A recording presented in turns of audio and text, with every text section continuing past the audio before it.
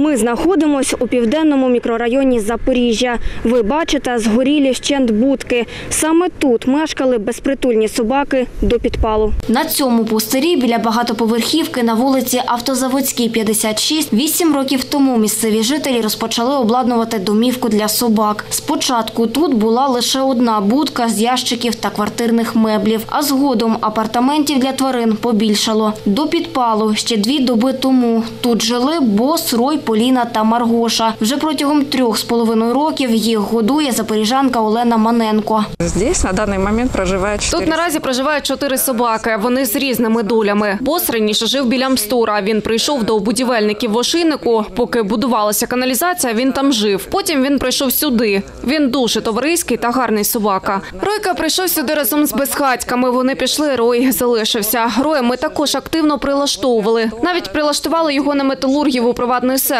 Але того ж вечора він звідти втік. І потім ще два дні я його шукала у місті. Поліна у лісі народила цуценят. Ми їх прилаштували. Поліну стерилізували. Вона перебралася жити сюди, бо тут були будки. Маргоша також прийшла сюди вагітною. Народила цуценят у ямі. Ми їх також прилаштували. Маргошу стерилізували. Потім наша бідова Маргоша захворіла чумкою. Декілька тижнів лікували.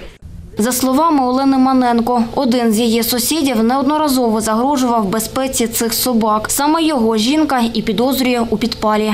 Он э, пытается Він весь час намагається труїти собак лише завдяки тому, що собаки тут нагодовані, не їдять те, що він їм пропонує. Вони знають, що це ворог. Вони його бояться та тікають, коли бачать. Була тут собака, яка прилаштована була. Йому вдалося засунути отруту їй до рота, але були поряд люди, отруту витягли. Неодноразово ми з ним тут конфліктували, кричали один на одного. Я його відштовхувала від цих будок, тому що він тут намагався бити собак. Я вважаю, що це він підпалив, тому що він постійно погрожує цим собакам, постійно кидає у них каміння, булижники. Він раніше жив у четвертому під'їзді на сьомому поверсі і весь час кидав петарди в цих собак. Каміння сьомого поверху, неодноразові погрози, що він зруйнує ці будки. Саме у момент підпалу його бачили. Бачили цю компанію на підпитку чи під наркотиками, і бачили, що вони тут четверо-п'ятеро осіб було. Двоє вчиняли підпал, інші стояли біля під'їзду. Я знаю його близько двох з половиною трьох років. Молодий близько 25 років. Влад.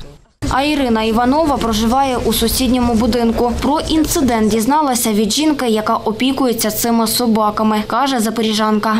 Я проживаю по соседству. Я проживаю по сусідству. Ніколи не було жодних інцидентів, щоб вони кидались на людей, проявляли агресію. Дуже дружелюбні собаки, дуже миролюбні, і достатньо тихо поводяться. Жінка зі сльозами на очах зателефонувала мені та розповіла цю історію, що вночі приблизно дві доби тому чотири нетверезі особи трощили тут, підпалювали будки. Пожежа була великою, тому довелося викликати пожежну службу, і вони погасили цей вогонь, тому що була загроза, що вогонь перекинеться. Бачите, скільки тут сухих чагарників, і все це могло спалахнути, і могла бути величезна пожежа. У цьому під'їзді проживає чоловік, який, за словами жінок, постійно загрожує цим собакам.